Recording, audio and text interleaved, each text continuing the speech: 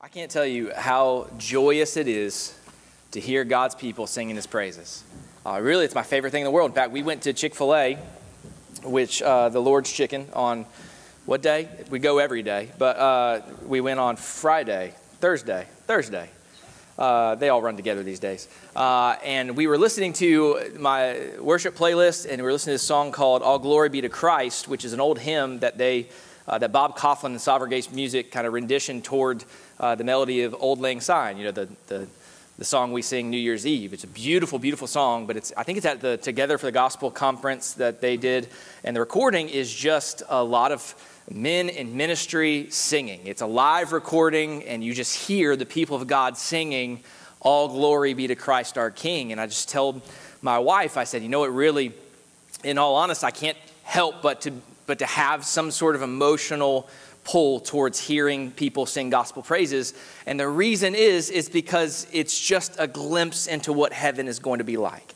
Right? This is our lot. We will be singing All glory be to Christ for all of eternity. That's one of my favorite things to look forward to about heaven. And then Penny started losing her mind and screaming and crying. I said, that's another good thing about heaven is there won't be any more of that. That'll be great too as well. So, uh, church, if you have your copy of God's Word, would you turn with me to Psalm 36 as we start a new series this morning, uh, which is not something we do often, but uh, this is going to be our summer series entitled Joy Seeker.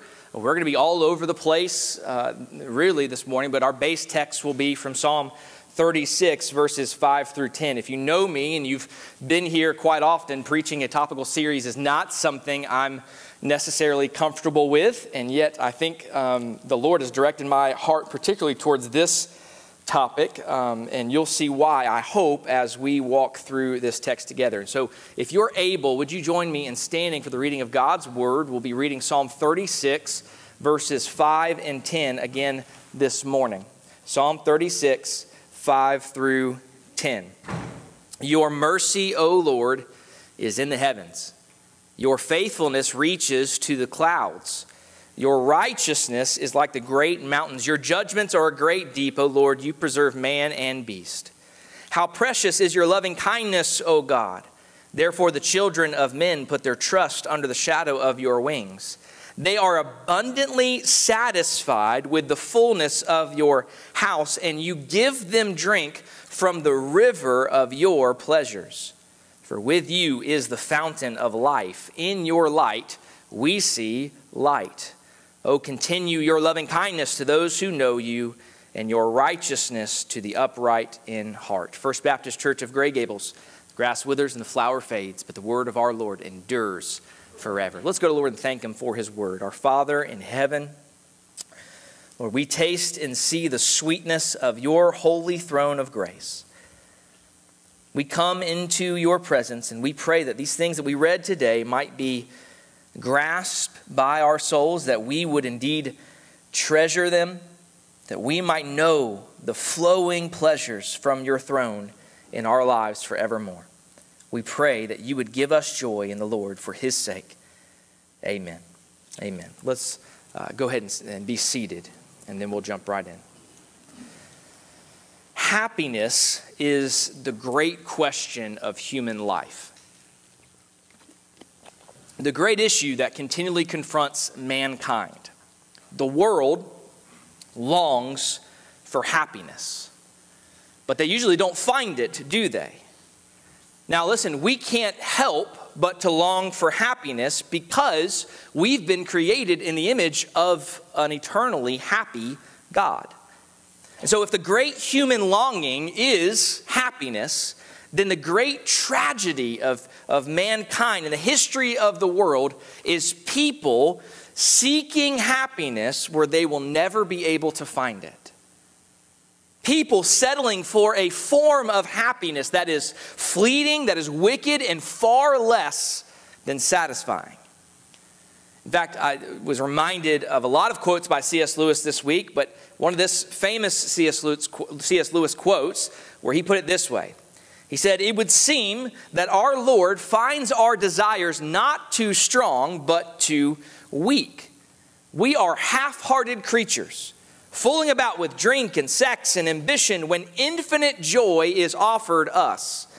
Like an ignorant child who wants to go on making mud pies in a slum because he cannot imagine what is meant by the offer of a holiday at the sea. We are far too easily pleased.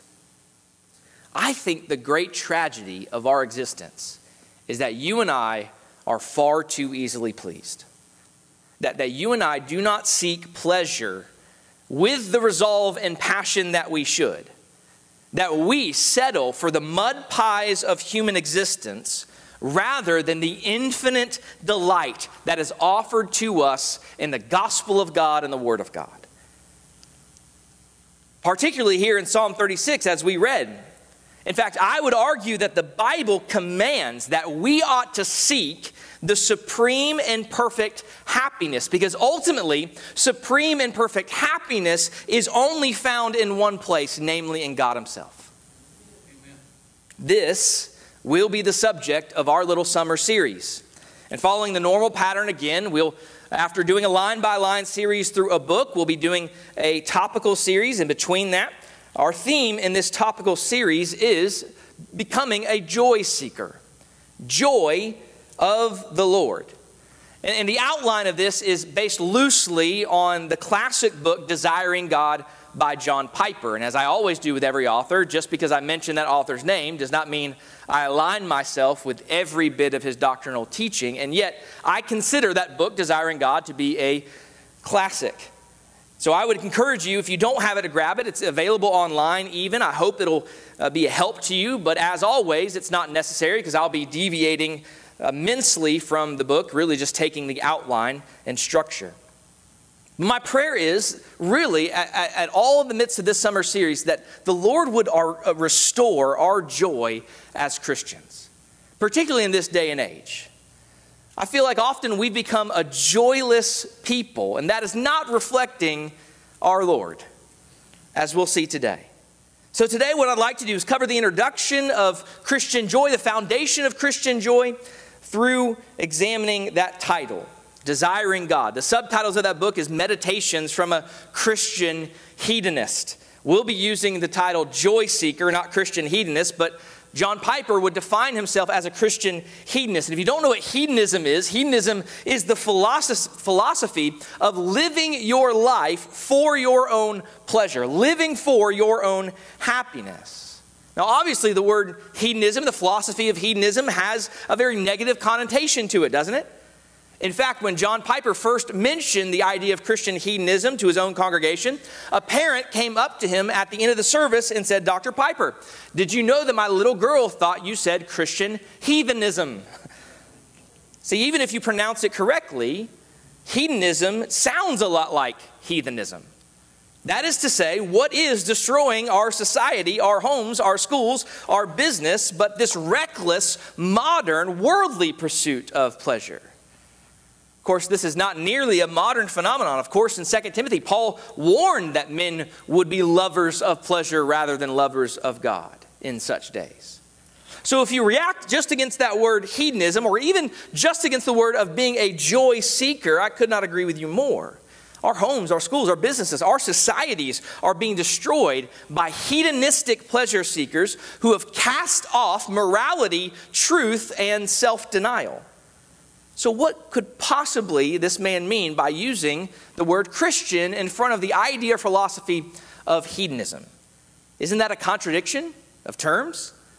Well, I want to start with some biblical examples of really what he's trying to get at. You see, David describes the supreme source of happiness in the psalm before us in verses 7 and 8. David says, How precious is your loving kindness, O God. Therefore, the children of men put their trust under the shadow of your wings. They are abundantly satisfied with the fullness of your house, and you give them drink from the river of your pleasures. This, he says, is the source of all true delight, goodness, and satisfaction in the world. So, therefore, David counsels, even commands that you become a joy seeker. When he says, Delight yourself in the Lord, and he will give you the desires of your heart, that famous verse we know, he's commanding you to seek joy. The sons of Korah also in Psalm 42, 1 through 2, command this as well. They illustrate this and give this a picture as they say, As the deer pants for the water brook, so pants my soul for you, O God. My soul thirsts for God, for the living God. This response is nothing more than a flowing stream of pleasure from God that our thirst for Him finds its counterpart or its answer in Him. I believe Moses was a joy seeker in the sense of Hebrews 11, chapter 11, verses 25 and 26, where the Bible tells us about him in the Hall of Fame of Faith, saying, choosing rather to suffer affliction with the people of God than to enjoy the passing pleasures of sin, esteeming the reproach of Christ greater riches than the treasure of Egypt, for he looked to the reward. See, that is to say, even the worst thing that Christ gives us is better than the best things the world can give. So Moses is refusing temporary, wicked pleasures in order to obtain eternal, infinite, holy, and fully satisfying pleasures found in Christ alone.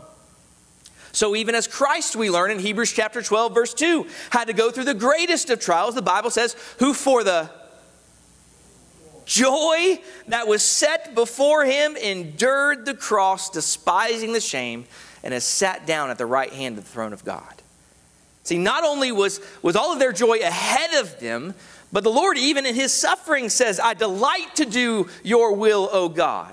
Even if it involves pain, self denial, discomfort, yet Jesus says it is better to do God's will than not. It is my food and drink to do the will of my Father. It is life itself, even though it may lead us to the valley of the shadow of death. So we must understand, and we do understand, that often there is pain and loss associated with becoming a joy seeker. But the point is, in seeking our joy in Christ, we gain so much more.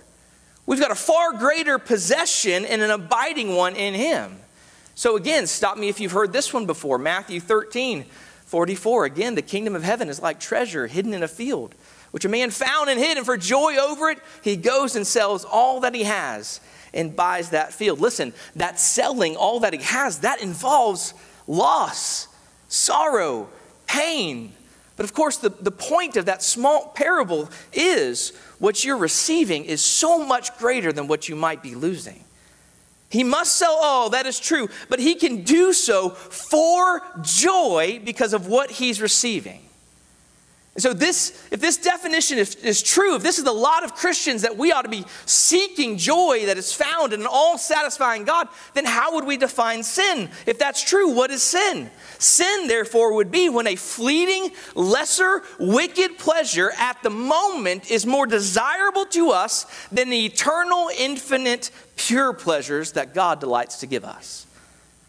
It's having our hearts set on the wrong thing and following after that thing. So, so you could say that the process, even of sanctification, our growth in holiness, all of Christian growth is, among other things, learning to seek the highest joys and the fullest pleasures. See, our desire to be happy is a God given desire and should not be denied or resisted, but instead should be directed toward God to find its fullness and satisfaction. See, if you abandon the pursuit of joy, you therefore cannot fulfill the will of God. Christians, hear me. You must pursue joy. And often, isn't it the case that what we've done in worship, what we've done in the Christian life, is made much of this simply burden and responsibility and neglected the engagement of joy. Let me ask you was it for your joy that you came here this morning? Was it for your joy that you opened your Bible and read this week? Was it for your joy that you entered into prayer with a happy God this week?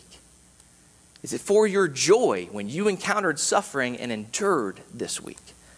You see how we get this backwards?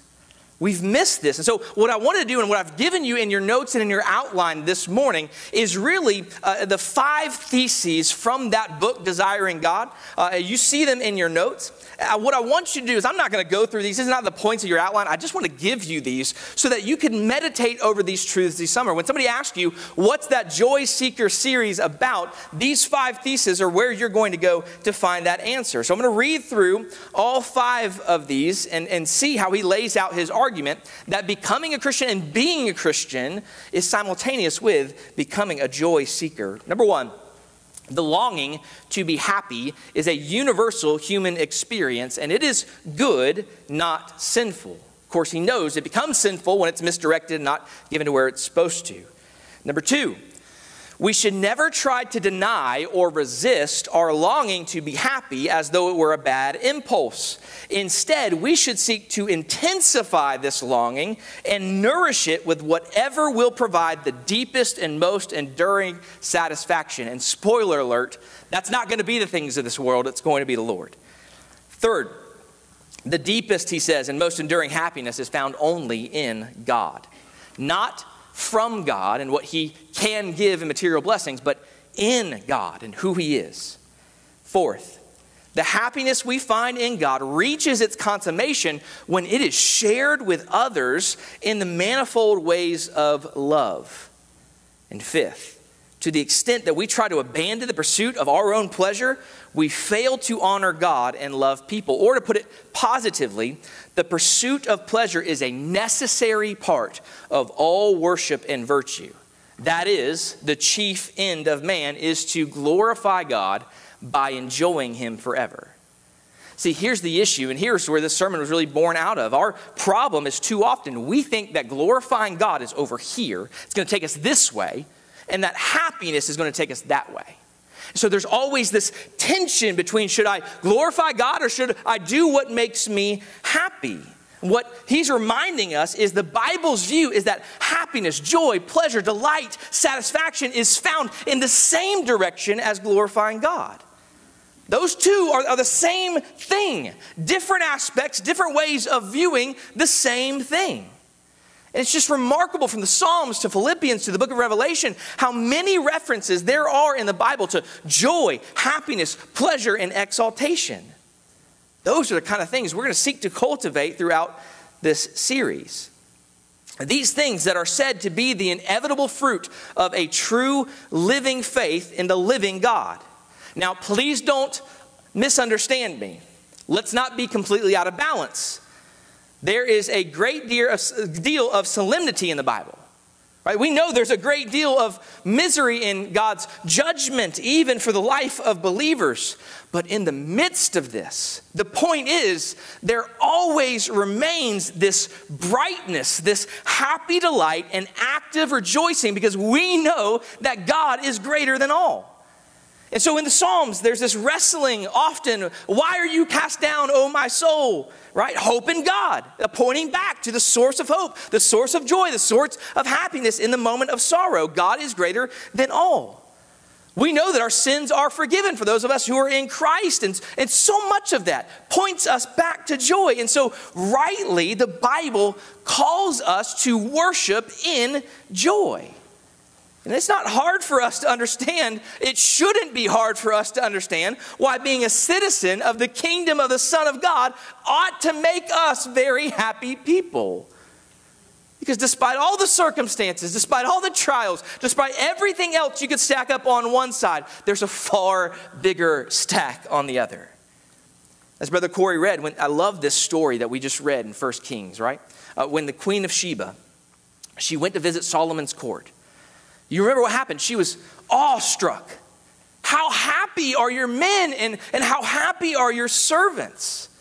As a ruler, she realized what a tremendous privilege it is to have Solomon for one's king. And she rightly assumed that the people should just be pinching themselves, that this is not a dream, that they do live for such a wonderful king and for such a wonderful kingdom. I read that, and surely this is an invitation for us to consider our own life, happiness, and privileges. See, we are citizens and family members of the King of Kings. If the queen of Sheba uh, could see if the people had Solomon as their king, they could not help but to be very happy people. Surely a greater king than Solomon is ours. When we're not happy, therefore it must be because we've largely forgotten our king in the kingdom in which we have an extraordinary privilege to be members. So, so we must therefore lay hold of happiness and pursue happiness. To trace out the heart and thought of the psalmist, which continually goes from misery, starts in misery, and ultimately leads to praise. We do this by applying our faith to our circumstances, taking hold of what is in fact actually ours, as we talked about in 1 Thessalonians, simply becoming what you are in Christ. Two, like the Queen of Sheba, make others sit up and take notice of the fact that we are happy servants of Christ. Loving happiness as people do in this world, there is nothing that perhaps could make them sit up and take notice than holding up happiness. I mean, look, the Queen of Sheba, she saw the king and she could therefore conclude the happiness of the people. The people of the world can, can certainly work with the same solution backwards seeing the happiness of the people to understand the greatness of the king that has made them so. See, our responsibility is not only to put on that happiness that is ours in Christ, but to manifest it, to live it, to help others to find it as well. We, of all people, should not be those who mope around in the world like all other human beings who are looking for happiness in all the wrong places encouraging others to do the same. We have supreme happiness ourselves. And therefore, it is our calling to lead others to it as well. And look, this idea is very practical. It really is. So let's put it into practicality. Husbands, Christian husbands, I'll say. Are your Christian wives happy? A simple way to evaluate your life as a Christian husband have you been your wife's helper to joy? In particular, have you so ordered your marriage in the Lord Jesus that joy has not only been your lot, but even more your wife's? Christian wives whose husbands are godly men, who love them as Christ loved the church, those Christian wives are seldom unhappy no matter what their other circumstances might be. Happiness is the inheritance of a Christian woman who's married to a Christian godly man. Do other women see such wives and, like the Queen of Sheba, say, How happy you must be to have such a Christian husband, to be married to such a wise man who loves and lives so godly in Christ Jesus? Brothers, is it so? Wives, are your husbands similarly happy because they're married to you? Is that not to be the inheritance for any Christian man married to a Christian wife? Parents, are your children happy? Have you so ordered your family in Christ that your children grow up recognizing the joy that is found in following Christ? Seeing a love for Christ mediated and communicated through parents. I mean, we could go on and on and on, and, and we will throughout this summer series. We'll see to think this through in the various areas of life, to know what is behind that famous statement again made by C.S. Lewis. It is a Christian's duty, as you know, for everyone to be as happy as he can. Which he means, of course, happy through such ways as Psalm 36. By the way, that quote that we just read was written by a, in a letter by a man who had recently suffered the death of his dearly beloved wife while she was still a young woman. He's writing it to a man whose life similarly had just been devastated by the greatest conceivable loss. You see, such joy will even coexist with such sorrow. In fact, he, he describes it elsewhere in another quote in a different way. He says this he says, God made us, invented us as a man invents an engine. A car is made to run on petrol, and it would not run po- properly on anything else. Now, God designed a human machine to run on himself. He himself is the fuel our spirits were designed to burn, or the food our spirits were designed to feed on. There is no other. That is why it's just no good asking God to make us happy in our own way without bothering about religion. God cannot give us a happiness and peace apart from himself because it is not there. There is no such thing. You see, the problem with most human beings in human history is they've sought happiness in places destined to make them miserable. That's the reality we're living in. Or at least far less satisfied than anything like the joy we have in Christ. Now, of course, we know it is possible to be superficially happy with those fleeting pleasures of sin. Right? The author of Hebrews even mentions it's possibly superficially happy and wicked at the same time. But we can just see every day how fleeting and deceptive the world's happiness is at best. Uh, to have true happiness, you must come to the Lord and be in touch with the meaning of life and all the answers that He provides. The world does not have this, so it is doomed to look for what it can never find. Only Christ can provide such things. As St. Augustine famously asked, he said, Were I to say, Why have you become Christians? every man will truly answer for the sake of happiness. We are Christians because of the sake of happiness. Uh, the psalm we read at the beginning reminds us again that God is the river, He's the fountain, He's the source of all joy, pleasure, you name it. And so, as a conclusion, I'd like to give you a sort of a conclusion. That's one of those Baptist conclusions where there's much left to talk about. Um, but I wanted to, to get your attention. So, uh, no, two points on why this is so. I want to I wanna finish with this just briefly. Uh, two points why God is so happy. We don't often think about God in those terms, do we? Certainly the world doesn't. But our God is an infinitely happy God. We know this from the scriptures. He's the source, the river of all pleasures. And so, why is that the case? Why is God so happy? First, it's because God is happy simply because he delights in himself. God is happy because he delights in himself. There are so many examples of this throughout the scriptures, and we're going to examine some of those. But my mind immediately goes to the Lord Jesus' baptism. Matthew chapter 3, verses 17. What does the Lord say? This is my beloved Son, in whom I am well pleased. Or the song of Isaiah in Isaiah chapter 42, verse 1, that says, Behold, my servant whom I uphold, my elect one in whom my soul delights. God delights in himself, Father, Son, and Holy Spirit. It is on every page of the Lord's teaching. The Lord Jesus' life here on earth was lived in complete delight in his Father. In fact, in Ephesians 3, Paul gives us this kind of interesting word picture. He says, The Father, from whom the whole family in heaven and earth is named. That's sort of a passing comment by the Apostle Paul, uh, noting that the whole reality, the whole concept we have of family and all that it means to us, how that is simply a reflection of God who made the world. You know that before happiness ever existed in the world, before the world even ever existed, happiness existed in God. Delight, pleasure, joy, as though you had thousands and thousands of close relatives who loved you with all your hearts and you loved in the exact same way. For example, my kids are never as happy as when they have their cousins with them. Ever as happy. Uh, they could stay at their cousin's house forever. They, they really could. They could spend all the time they want with them. They just love that time with their cousins. It's the sweetest time for them. If you could just multiply that a thousand times over, take all the happiness experiences of your lives, multiply the joy you have best known in this world, it would not be a drop in the ocean of God's delight.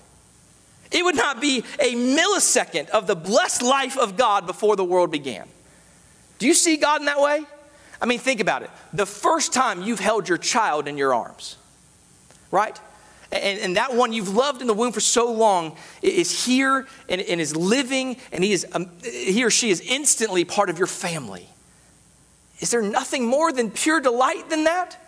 And yet, it's not a drop in the ocean of what we know God to be, what He has been for all eternity. That's a wonderful thing. Understand this. God has never lacked anything in Himself in any way. God has never been lonely. If you ever hear somebody saying that God made man because he was lonely, that's heresy. No way. God was not lonely. If we say to live as Christ, therefore, if He is our desire, if our hearts find our rest in Him, how much more true is that within the Godhead? If we enjoy fullness in Christ, how much more the persons of the Trinity in each other? See, this is the blessedness of God. God is full of joy, He's full of happiness, delight, pleasure. And not only is He free from frustration and anxiety, but he has infinite peace, fulfillment, love, and joy in himself. Just as souls in this world and in love can find satisfaction in each other, minuscule in comparison, the infinite God is perfectly united in one glorious being. Each person, Father, Son, and Spirit, has shared this love, rivers of pleasure, light, and love between the members of the Godhead. Each one of the members of the Godhead has given and received this love. This is what our God is like. And here's the beauty you and I are purchased into that love. It has been cured out into our hearts. Therefore, we have the joy of our love, and He is the source of that joy. We have something to offer a world that is full of bitterness and hatred. We have a personal relationship, communion into, into which we are all invited to an eternity of bliss, rivers of pleasures. Or, as the book says, God is uppermost in his own affections. Listen to this God would be unrighteous as we would if he valued anything more than what is otherwise supreme value. So, within the triune Godhead, Father, Son, and Holy Spirit, it has been uppermost, God has been uppermost in his own affections for all eternity. So immediately we hear that and say, well, does that, does that mean that God is self centered then? Well, certainly not in the negative sense that we would use it. Why? Because we know He is a God of love. He's overflowing and outgoing in His created people who can be filled with such love. We are invited into that communion of joy, that relationship of joy. We know that love does not seek its own. But it is only right that eternal Father, Son, and Holy Spirit would have within himself and for himself the first and infinite love. So, again, as Piper puts it in the book, he says, God is the one being in all the universe for whom seeking his own praise is ultimately a loving act. When he does all things for the praise of his glory, he preserves for us and offers to us the only thing in the world that can satisfy our longings God is for us. And the foundation of love is that God has been and is now and always will be for himself. That's a good thing. The foundation of all delight is in God himself. But because God delights in himself, secondly, we know that God is a happy God. And why is he a happy God? It's because God delights in his works. God delights in himself and God delights in his works, who he is and what he does. He is happy, in other words, because he is sovereign. Psalm 115, verse 3, a verse we love. Our God is in the heavens, and guess what? He does whatever he pleases. He has the right and the power to do whatever makes him happy, and he does. Our God is in the heavens. It means he is subject to no one, he is Lord over all. Daniel 4:35 says, All the inhabitants of the earth are reputed as nothing. He, God, does according to his will in the army of heaven and among the inhabitants of the earth. No one can restrain his hand or say to him, What have you done? See, there's no frustration in God, there's no thwarting of his will. You know, we, we say this, we say, only if we were different and things were different, then we could be happier. God doesn't have that problem. Well, you say, what about evil? Well, of course, there's much more on that to come, but I will say this. We know God has no delight in iniquity. You know that, right? For example, when God the Father saw the agony of his beloved Son and the wickedness that brought it to pass on the cross, he did not delight in those things in themselves because they were sin. Right? With your wicked hands you have done this, says Peter. Sin and suffering of the innocent are abhorrent to God. But there is something else we can say, isn't there? You remember how we said earlier that seeking the greatest happiness often requires loss?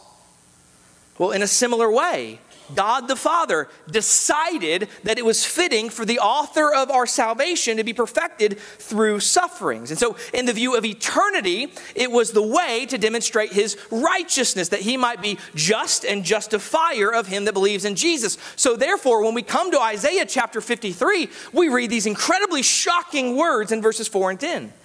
Yet we esteemed him stricken, smitten by God, and afflicted. Yet, it pleased the Lord to bruise him. He has put him to grief. The death of his son pleased the Lord to bruise him? You see, while it's true, sin and wickedness his soul hates, when you see the big picture, as Isaiah 53 lays out, bringing many sons to glory, we see that it has pleased the Lord to bruise his son. So, even, listen to me, even the most wicked things in history, when God, who's the only one who's able to do this, surveys them from beginning to end while not partaking in the wickedness of the actions, while not delighting in any iniquity, while being pure, he is able to rejoice in all his works and all that he does and sees. So, therefore, nothing in the world can frustrate the happiness of God. God is happy in who he is and in what he does. And here's the beauty when we gain him, we glorify him. We therefore have everything. We share in who he is and what he does, which is the greatest of all happiness. Every other pursuit in life, graduates, listen to me, Every other pursuit in life is living for something far less than something second best, is living for something less satisfying and unworthy. God has given us the capacity to delight, enjoy, savor, to find fulfillment and satisfaction ultimately in Him. We know we love because He first loved us, right? God has thoroughly intertwined His glory in our joy. We cannot seek glory or joy from God without having it being the same thing. Our greatest love, our greatest joy, our full purpose, our greatest satisfaction, it must be found in the Lord. So, therefore, we could merely conclude to say that it is a truly great thing to become a Christian. It is the greatest change that we could ever imagine that our love for Him should come to exceed all the greatest loves and loyalties in our life. That our delight in Him should grow and overshadow every other delight in this world. We're going to speak more on that next week. It's what we call conversion to be a disciple, to have faith in Jesus, is to have such a change come upon us, even to lose our life for his sake and to gain him. There is something in following him that we find and receive that is far more precious than life itself. Now, obviously, we know we are not yet what we wish to be. Amen? Many lesser desires are far too close and too sweet to us at this point. But if you're a Christian, if you're truly a converted believer in Christ, uh, you ought to have now a longing and an aspiration to be extravagant in your search for happiness in God. To have your love and your devotion fully in Him, because ultimately He is worthy of it. So let me just encourage you if you call yourself to be a Christian, do you see God in this light? Do you see following Him in this light in any way, shape, or form? Is joy even on your radar when you walk into this building to worship the King of Kings with your brothers and sisters?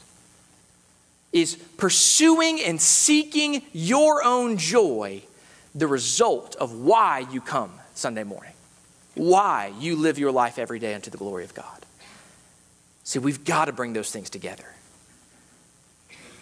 God doesn't just, when He saves you, right, He doesn't just capture your, your, your, your mind and your soul. He doesn't just purchase simply your ticket into heaven, but He captures your heart and your desires. And though we know it's not perfect now, we know that that's a struggle often to desire Him, to pursue Him, to engage in joy in this life. Friends, for the true Christian, that is the lot. Ask yourself when you are seeking joy, where do you seek it? Is it separate from glorifying God? If so, that's a problem. But, friends, again, what a beauty it is to know that we're His to know that ultimately, if we're in Christ, not only is He going to bring us into making us into His likeness, He's going to continue that work, but He's going to capture our desires too. He's going to make it so our utmost desire is to worship Him above all else. Amen. Would you stand as we pray together?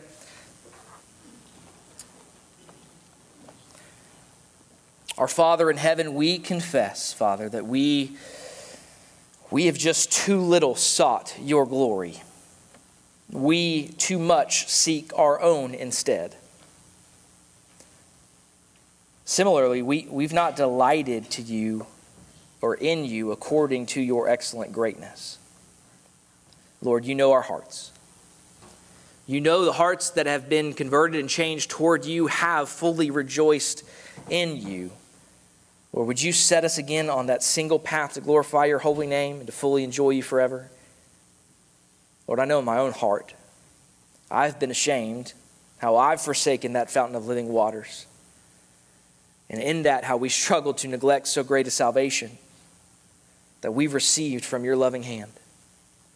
Father, that we who have been called by your name have so little enjoyed the very God who made us and spared not his only Son, but gave him up for us all.